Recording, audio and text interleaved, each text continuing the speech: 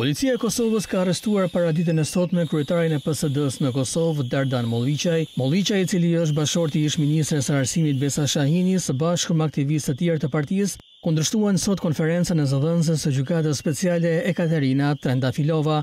Ata u futën në sallën ku mbahej konferenca e shtypit, duke i fryrë bilbilave. Ata thanë se nuk mund të lejojnë një konferencë e një përfaqësueseje të një gjykate të padrejtë që asnjëherë nuk mund të sjellë drejtësi.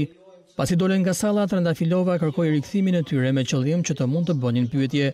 Kjo ishte konferencë për publikimin e disa dokumenteve të pretenduara të Gjykatës Speciale gjatë vitit kaluar, që janë prezantuar nga Organizata e Veteranëve të Luftës së Ushtrisë Çlirimtare të Kosovës.